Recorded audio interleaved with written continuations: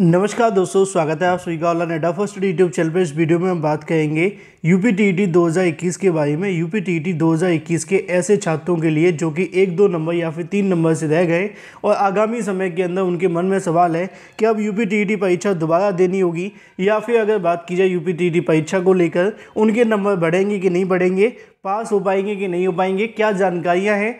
क्योंकि आप सभी जानते हैं कि इस परीक्षा को रद्द किए जाने की भी मांग की जा रही है, जिसको लेकर मामला पहले से न्यायालय में गया हुआ है, लेकिन जब तक न्यायालय का कोई फैसला नहीं आ जाता, उससे पहले अभी कुछ कह पाना संभव नहीं है। लेकिन अगर बात की जाए ऐसे छात्रों के बारे में तो यहाँ से किन किन क्वेश्चन पर आपको बोनस अंक मिलेंगे, इसकी जानकारी आप सभी को दी जाएगी। तो वीडियो को जल्दी से लाइक कर दें, साथ ही शेयर कर दें और चैनल को सब्सक्राइब करना बिल्कुल ना भूलें, जिससे कि आपको इसी प्रकार की ऑथेंटिक और सटीक जानकारियाँ सबसे पहले मिलती रहें। तो चलिए दोस्तों, वीडियो शुरू करते हैं। अगर बात की जाए किस किस क्वेश्चन पे बोनस अंक मिलने वाले हैं, इस वीडियो में आपको उन्हीं क्वेश्चन की जानकारी दी जाएगी जिसपे 100 परसेंट आपको जो नंबर है वो मिल जाएगा।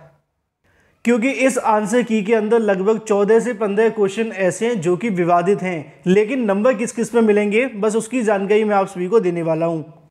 तो दोस्तों, सबसे पहला जो आपको क्वेश्चन देखने के लिए मिलता है, वो होगा हिंदी विषय का। जिसके अंदर आप सभी से पूछा गया था कि आँख की किरकिरी होना, आँख की किरकिरी होने वाले की क्वेश्चन की अगर बात की जाए तो यहाँ पे इसके दोनों ही आंसर सही होते हैं, या तो अप्रिय लगना या फिर कष्टदायक। अब इन दोनों को यहाँ पे डाल दिया गया है तो दोनों में से दोनों के ऊपर आप सभी के जो ऑप्शन है वो सही हो जाएँगे तो एक बोनस अंक आप सभी को यहाँ पर भी मिल जाएगा सभी छात्रों को।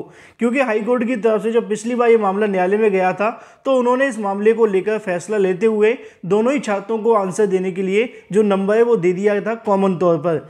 इसके अलावा अगर बात की जाए एक और क्वेश्चन के बारे में, जो कि संबंधित है, अगर बात की जाए पर्यावरण अध्ययन को लेकर पर्यावरण अध्ययन के अंदर घास भूमि क्षेत्र के परितंत्र की अगर बात की जाए तो यहाँ पे इसका जो पीएनपी ने सही आंसर माना था, वो मांसाहारी माना था।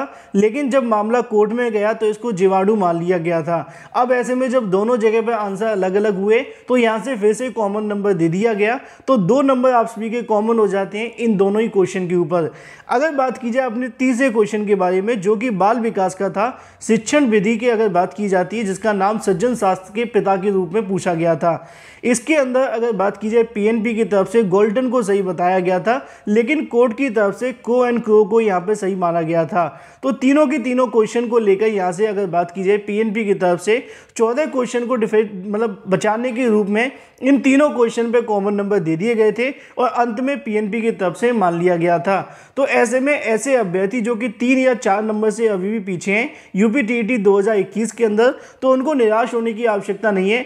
तीन चार नंबर तो आपको बड़ी आसानी से मिल ही जाएँगे, क्योंकि 2017 के पेपर के अंदर पहले ही मिल चुके हैं। इसके अलावा और भी कई ऐसे विवादित क्वेश्चन हैं, जिसको लेकर हम बाद में कभी बात कर लेंगे, लेकिन उनके ऊपर आपको नंबर मिलेंगे कि नहीं, इसकी भी जानकारी आप सभी को प्रूफ के साथ दी जाएगी। तो ये तीन चार क्वेश्चन ऐसे हैं जिसपे आप सभी के नंबर अवश्य बढ़ेंगे, लेकिन आपके टोटल नंबर कितने बनाए कमेंट करके बताना बिल्कुल ना भूलें। इस वीडियो को लाइक कर दें, साथ ही शेयर कर दें और चैनल को सब्सक्राइब कर लें।